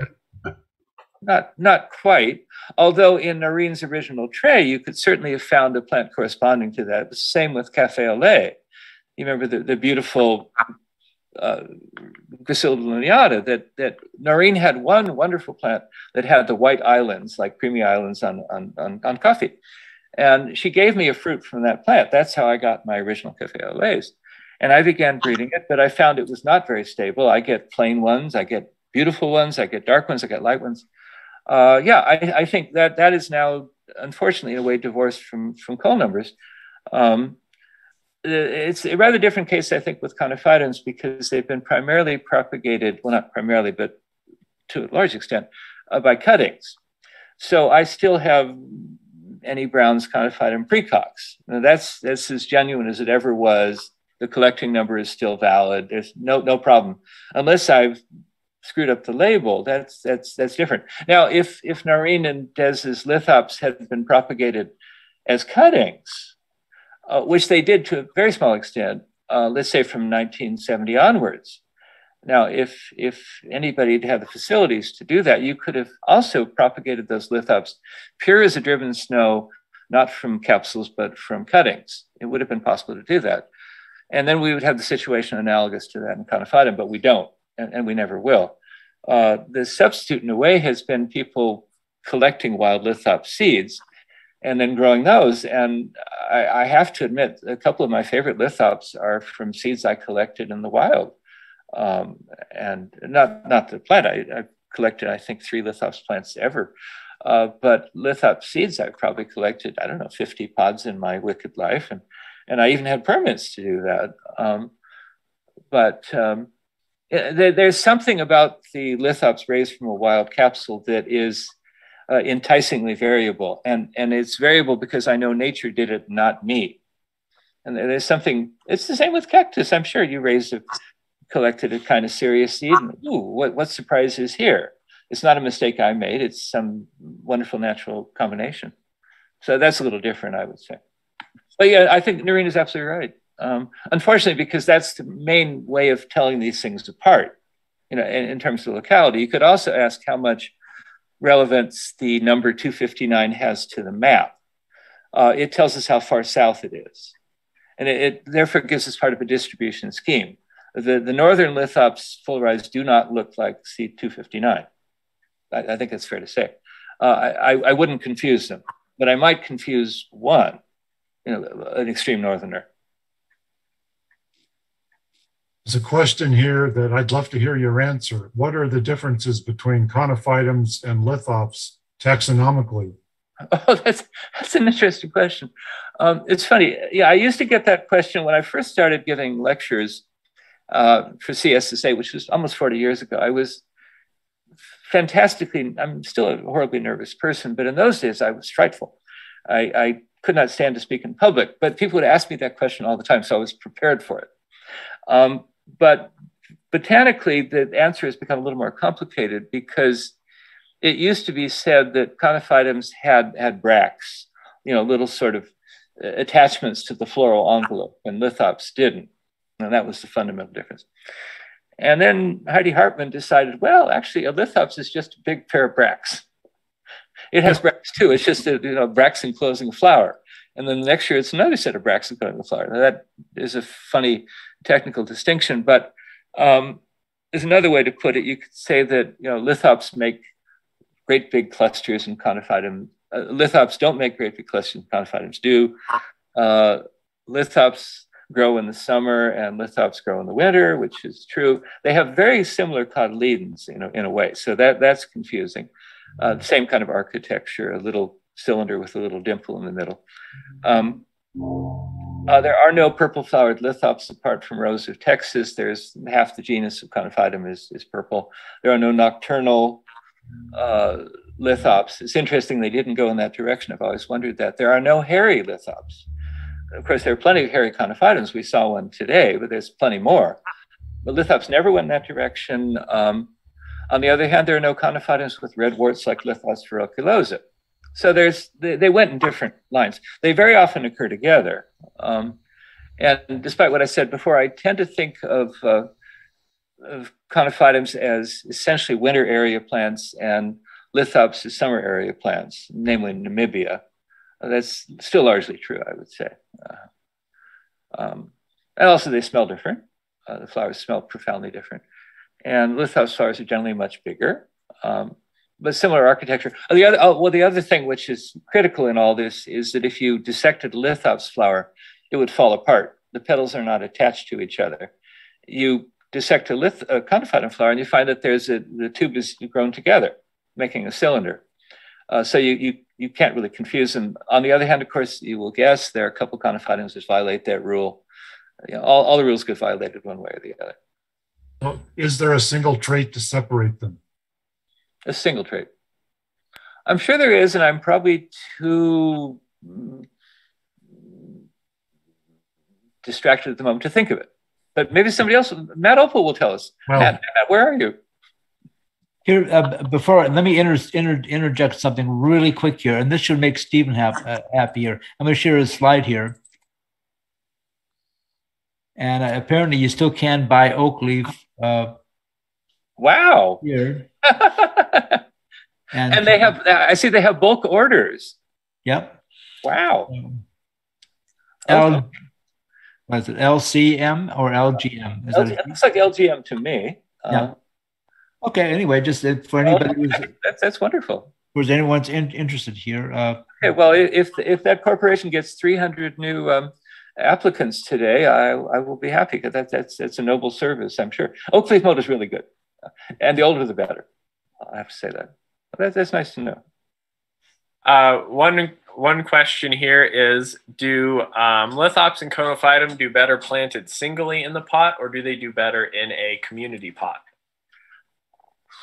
That's a very interesting question. Um, if you're talking about horticultural perfection, that is show perfection, it's undoubtedly better in a single pot.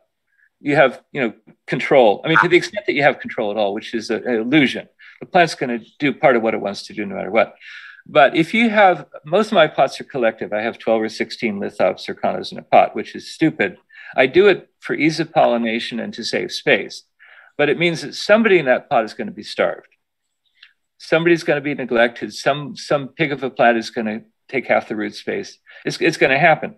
Unless you give them all the same mother with my inbred things, and then they all have the same defect. But that's another way to do it. But typically, you're going to get a better looking plant with more divisions, more color, more flowers, a single lithos pot in a four inch pot, single cono in a three inch pot, let's say.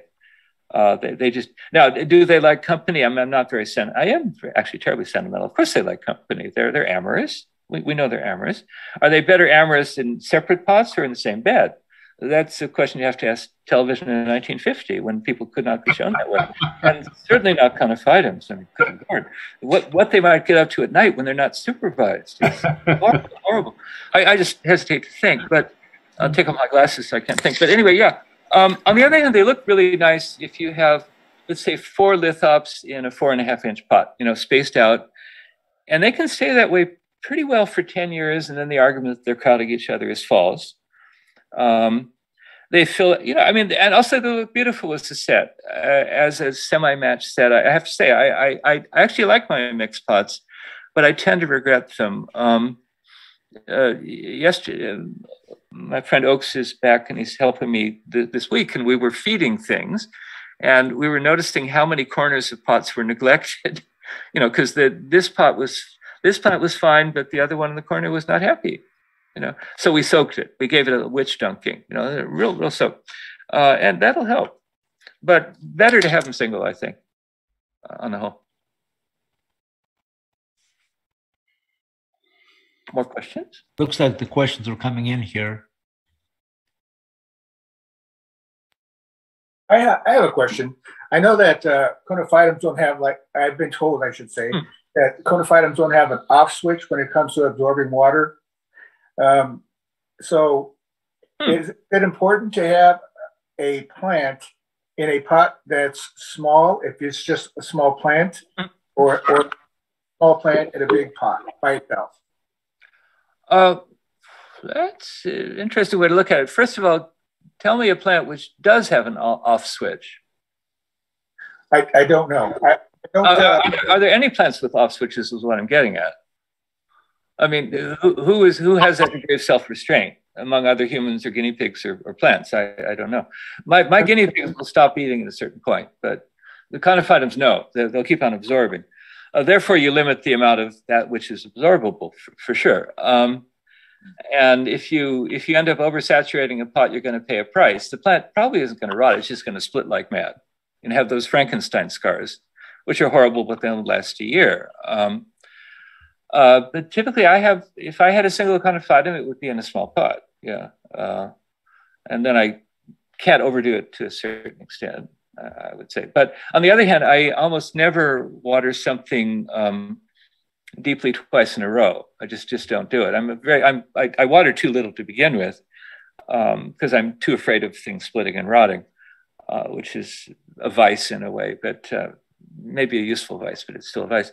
Um, so my plants don't usually split, but I would never deep soak a lithops twice within uh, two months. I, I, I, wouldn't do it. Uh, they, they've got two good resources for that. You know, so.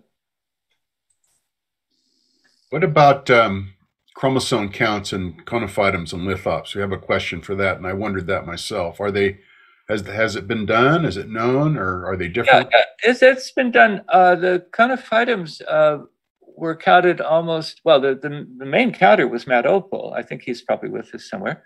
Uh, I hired him to, to, to count the chromosomes, um, and he was a grad student at the time, and I hope he was happy for the tiny bit of income I gave him because I wanted to publish the, the uh, counts in my first conophytum book, figuring that would make it look more respectable, which was true. Um, my second book was the unrespectable one. The first one was the respectable one. and um, yeah, so they're all recorded there. But on the other hand, um, Matt didn't have the time and I didn't have the resources to what should have been done was to compare multiple populations of several cases. For example, we found that Conophytum subfenestratum, the one I showed you that had the, the nice X marking, uh, that is a diploid and a polyploid. We found both counts, and there were previous counts of that as well, because there were some counts done in the 40s, a, a few selected species. Uh, you, you, may remember there were the gibbaeums were counted in the 1940s during the Nazi era. There, there are some Nazi gibbaeum counts, which by Mr. Wolf, and, and they got a strange bit of publicity because it's so so bizarre to think that people were doing botanical research in Nazi Germany, and the Berlin Philharmonic was playing Beethoven during the Second World War until until the end. It's horrible, yeah, but there was legitimate botanical research being done, and it was on gibbaeums. It wasn't on lithops, but they did a little other work, and then there was some work done in Stellenbosch too, at about the same period. So yeah, th- those counts are pretty well done. Uh, the lithops counts, I actually don't know much about that. Um, Stephen? Yeah. I've invited Matt to be a panelist, so he's oh, he's on. Hello, Matt. I can't see. Oh, oh. Hi, Steve. Hi, everybody. Hello, hello. Wow, you you appear. By by what magic have you appeared? I mean, well, the, see, the thing is, the window is now widened. Could could we fractal it and make uh, two hundred people? No. No, but nine people. No, just we have we have we met. So oh, maybe Matt. I love Matt. I love it. Yes. Maybe Matt can maybe Matt can answer, answer that question. Yeah, he's invited us to dinner. Yeah, the the majority of conophytums have a chromosome number of uh, 2n is 18. Um, there are tetraploids though. There are conophytums with 36 chromosomes.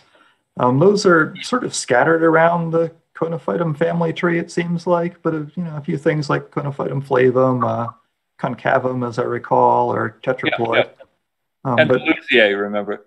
Yeah. Yeah, that's it. Sort of here and there among conophytums. It's not like there's a group of conophytums that are all tetraploid. And it's also not like it's obvious. You know, you think, oh, this is a big, big girl. It's going to be a, a right. tetraploid. Yeah, it's not. I, I always thought the burgeri ought to be a tetraploid or a super tetraploid because it's so buxom, but it's not. Yeah. In lithops, Matt? I haven't done any lithops myself. As I recall, I think they're all uh, 18 chromosomes. I think they're all diploid. I might be wrong about that. I, I think I think Heidi um, implied that, or maybe he actually even said that. I could look that up quickly. Uh, somebody did that at some point, I think. Yeah, yeah. Uh, the Rob Wallace, of course, did much more with the tanniniferous idioblasts, and that and that that that became the fashion. But I, yeah, they're probably all diploid, and therefore boring, unlike conophytums. But well, not boring, but simple.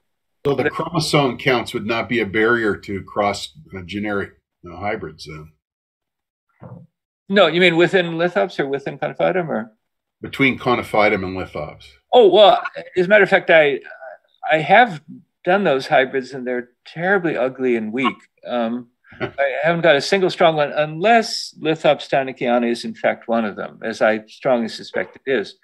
But I haven't been able to replicate it, and nobody else, to my knowledge, has either. So hmm. it'd be nice. That would be nice proof if, if it happened. Yeah. Yeah, I mean, you, as you say, you can cross lithops and argyrodermas, so why not lithops and conophytums or whatever? Or okay. whatever. Looks like the questions keep coming in here. Uh, Irvin, or anybody see any Yeah, Car- Carol asked, uh, what is your suggestion to do with the thousands of confiscated conophytums and lithops? what, do you, what do you want to, what well, can we do since we can't put them back in nature? Uh, yeah, I've, I've been thinking about that a lot. It, I mean, it, it upsets me on several levels. Uh, partly because when I was working at Carew Garden, I got involved in a confiscated shipment of Haworthia wittenbergensis, you know, 772 plants, I think it was. And the issue arose, are we going to repot these in, in, in the Rooinek Pass? It's impossible. It's between quartz plates. You can't do it.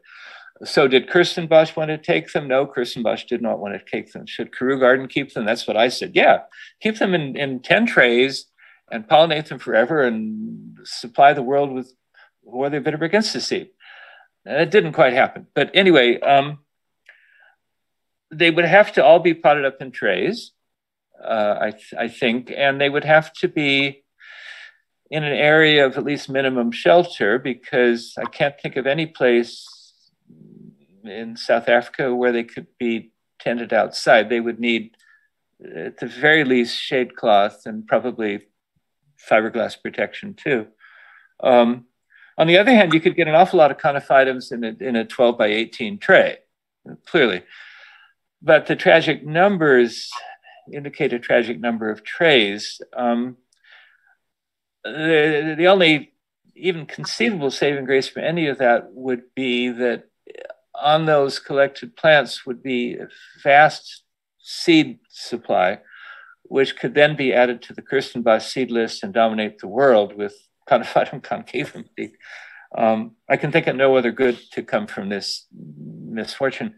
Um, but yeah, they, they can't be they can't be replaced in nature. I don't think. Uh, they, Roy Early did some replanting of, of in, in lithops, but that was very careful preparation. That was planned. Uh, that was monitored. They were watered. They're still monitored uh, I think it's a successful experiment, but you can't do that with raw plants, which have been butchered two months before. And then what do you, what do you do with them? Um, they, they dried out. And, and, you know, I've, I've certainly established collected cuttings, you know, because my, my permit, by the way, allowed me three whole plants or cuttings. And I usually took cuttings and I would take cuttings back in the States that were already two months desiccated and they're, they're difficult to revive. And of course, it was the wrong hemisphere. So that makes it even worse. They, they hate movement. Lithops hate movement. It's, it's, it's, a dreadful thing to do. It's, it's cruel. It's, it's vegetable cruelty. And to me, vegetable cruelty is absolutely no different than animal cruelty. I, I, think I don't even think plants and animals are different. To tell you the truth, it's the same thing. Uh, equally sensitive, wonderful things, and uh, they don't deserve to be butchered. Although I, I have to admit, I, I do eat eggs. Funny. Uh, so I'm a hypocritical vegetarian. But anyway, uh, no, you, you, should not dig up these beautiful plants. And it's, it's, a hideous thing to do, and a stupid thing to do too, and an unnecessary thing to do. What else do you want? But I, am sorry it has been done, and I, I, I, agree the plants have to be rescued to the extent possible. But this is a lot of space, uh, obviously, a lot of numbers. Maybe you could farm it out to different people. You know, find 100 conophytum volunteers in the, in the Republic. Um, there must be at least 20. I, I, was on a couple of rescue missions myself, you know, rescue this Dactylopsis, well, not, not Dactylopsis, uh, Dracophilus. And, and who, who, wants to house 20 Dracophilus? Would you like to have 20 Dracophilus? They're lovely plants. Only take you a big tray, you know, and find your 10 neighbors to do it too. I, I was on a quartz, uh, rose quartz mountain, which was being destroyed, and I was invited to take all the Haworthia tessellata that I wanted, which was none. I took six. It was the piggiest collection I ever made in my life. I still have them, but I shouldn't have them. I never had a permit for Haworthia tessellata, but nobody had a permit. Well, I suppose the owner had the permit to dig up the quartz mountain. It's gone now. And so were the conos and the ophthalmophyllums and the lithops and the Haworthias that were living on that mountain, unfortunately. That's a downer. Let's see. Uh, we have maybe uh, we have lots of questions in the queue here. Uh, let's let's maybe do two more. Stephen, you have time maybe for two more? I have two more. Yeah. Oh God, it's eleven thirty-three. How'd that happen? Wow. Okay. I, I didn't look at my clock. You see, so. Okay. Uh, one Rod here that maybe Jackson. You have one. Yeah, one here that I see a couple people have asked is, um, do you have any recommendations on growing the lithops, conophytums, and other mesembs from seed um, as part of your breeding work? Oh, uh, everybody should do that, um, and right away. Um, you mean recommendation how to start, or, or? Yeah, like um, what kind of setup you use, what kind of soil, um, what time of year, etc. Well, um, I can only tell you what I prefer to do. Um, I prefer to sow lithops in the summer when it's nice and toasty, because I think that's when they, they respond the best and they certainly grow the fastest. So, and a toasty here means July. It's not June. You know, we have we actually have cold Junes with a lot of fog. Now, in other places, maybe Ohio, maybe June is the hottest. I don't know.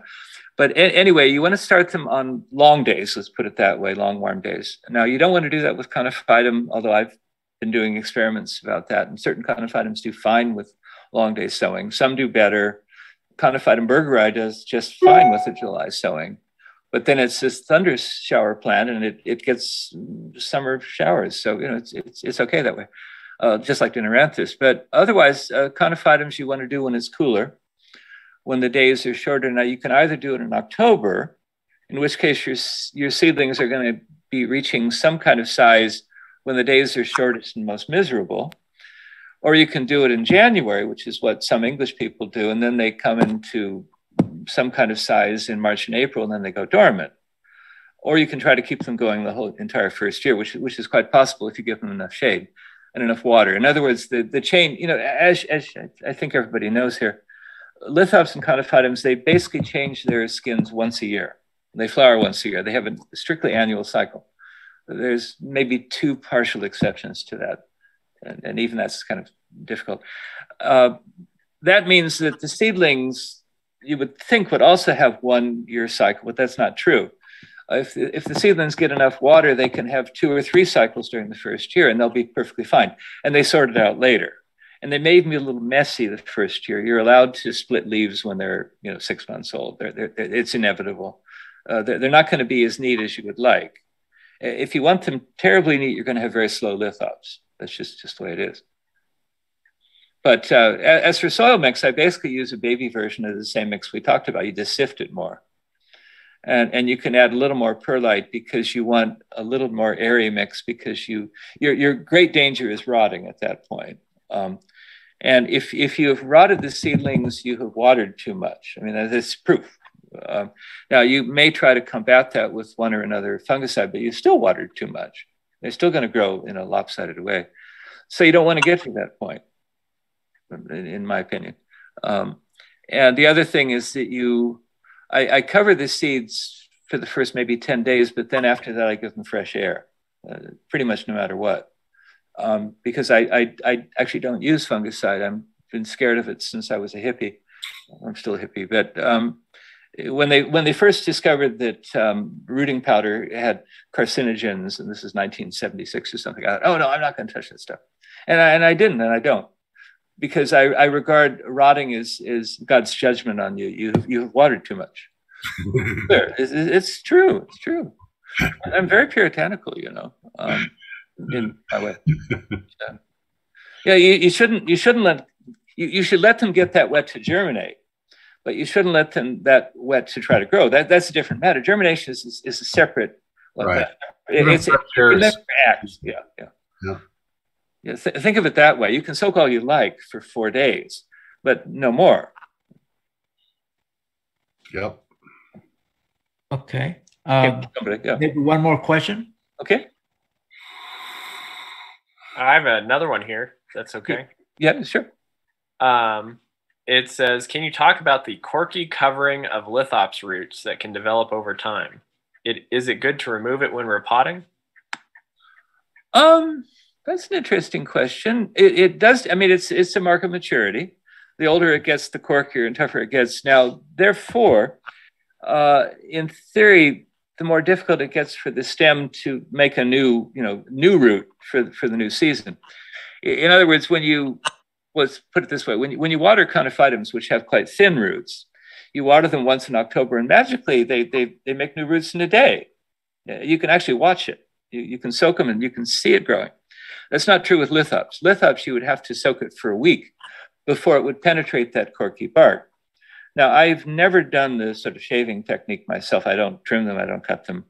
But obviously, when you when you divide the plant up, you are breaking to the cork in the, in the grossest way possible, and therefore maybe liberating the rooting area. It, it would be true. Um, but I I've never really worried about that. I mean, it's just when I start, see, I, I, don't start watering lithops until May typically. They, they go, they're completely dry all, all winter um, because they're absorbing their old, old juices. You know, they don't need any water. Now, if you want to wake them up in May, you can water them once and you may see some of them don't respond at all. They think, oh, what's happened? Well, what they're trying to break through the cork.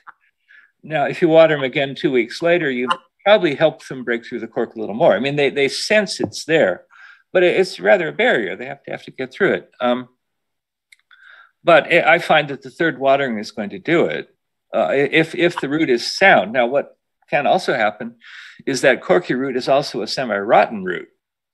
In other words, sometime during the previous fall, it got infected. It's, it's not really very healthy. You can be corky and still sound at the same time. And you, have you've, you've seen barks on trees where the tree is healthy or not healthy. I mean, what's, you know, it, it becomes quite obvious. Think of it as a little tree stump. But anyway, I, I, don't trim them in that sense usually, only if I cut them up. Okay. Stephen, thank you so much for your presentation today. Uh, we still have over 300 uh, people uh, watching us here. and uh, I know it's uh, they will stay all day long, and uh, I would stay all day, all day long too, of course. But I don't want to. I don't want to do that. So let's go through here. Irving, any last thoughts? Oh, it was excellent. And also, there were more on Facebook watching too, Stephen. Oh, really? Oh. Yeah. Okay. Jackson, any any thoughts? Great presentation. Definitely, it's especially with some of the making slides. I kind of have a, a new respect for stems, and I'm uh, looking forward to growing more. Oh, it's, it's, the most wonderful family on earth. I sound like Disneyland, don't I? Yeah. Yeah. But, it, it, and it's a big. Uh, I didn't talk about this, but it's a big family. Yeah.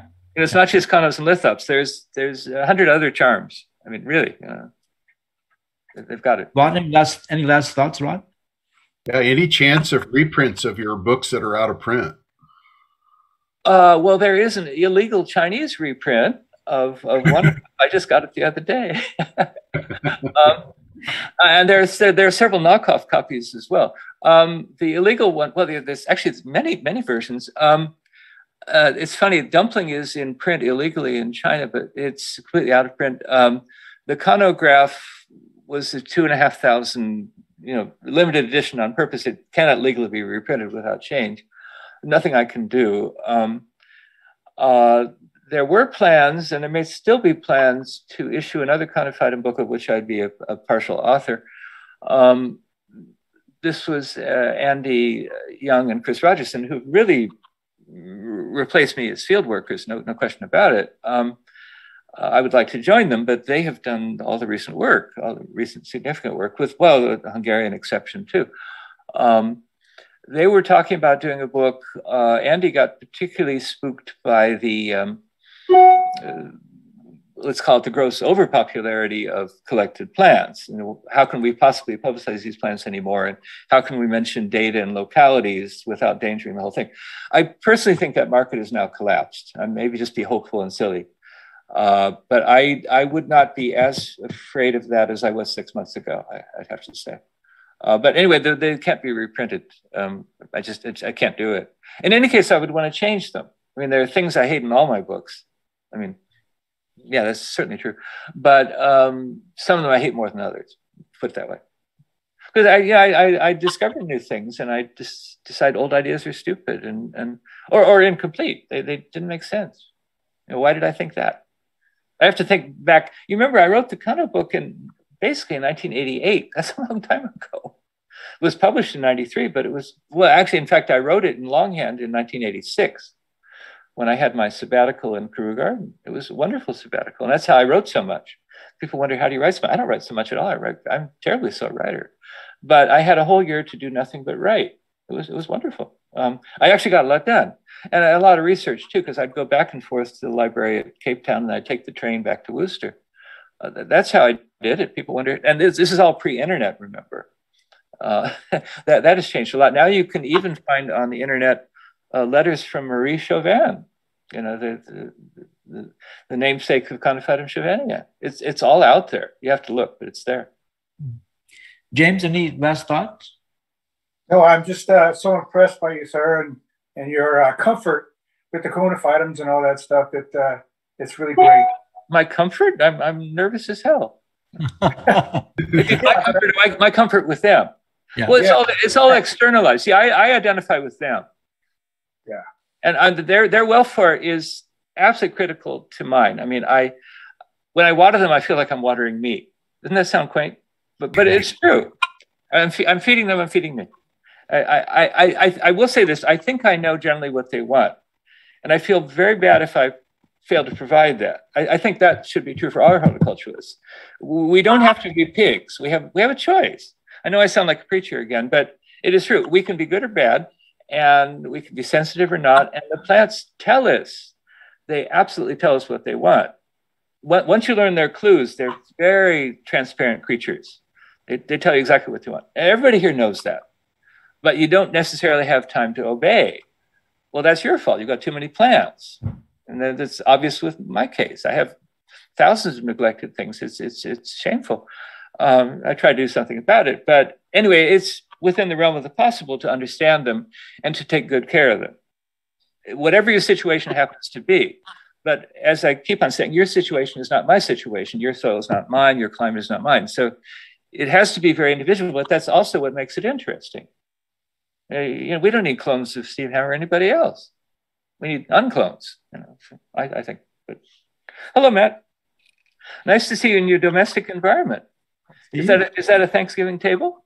Oh, look, look. Oh, hello, hello. Happy Halloween. Happy Halloween. Uh, Petra, any last any last thoughts? Uh, no, it was a great program, Stephen, and I hope we will get the chance to visit each other, being that close. I, I hope so. Yes, and happy Halloween. Very important. Happy, Thanks, happy Steve. Halloween. It's the Day uh, of the Dead and the Living. You know. Matt, thank you for joining us. Any last thoughts? Oh, no problem. It was a fabulous talk. Oh, glad to be here. So glad you were able to join uh, us. And, and thanks for, for doing the whole thing. I mean, and also I, I must thank John again because without him, I'm hopeless. Take really. All right, folks. Uh, thank you once again, Stephen. Uh, and uh, uh, this guy, just give me, there's still, believe it or not, there's two, 272 people still online here. So we'll let them go and have, have lunch or dinner and, and uh, enjoy the rest of the weekend here. And Gunnar, would you tell everyone uh, about how to see the program for the next day or two? Yes. Okay. The program right now it's it's still live streaming. It's about five minutes behind, but it is on our Facebook page. If you go to the Cactus and Succulent Society Facebook page, it will be on uh, on our page until the end of the weekend. Okay. So okay. All right. Thanks, thank you for, for reminding me. And then we'll see you then uh, in two weeks, everyone. All right. Thank you, folks. Thank you, Petra, for joining us. James, Gunnar, Gunnar, will this be also on YouTube or just on Facebook? Just on Facebook. But uh, yes, but I, I, if you if you email me, I can send you a copy. Okay. Thank you. All right. Okay. Ah. Bye, bye, folks. Good to see you, Stephen. By the way, Petra, you do not have to be a member of Facebook to see Facebook videos.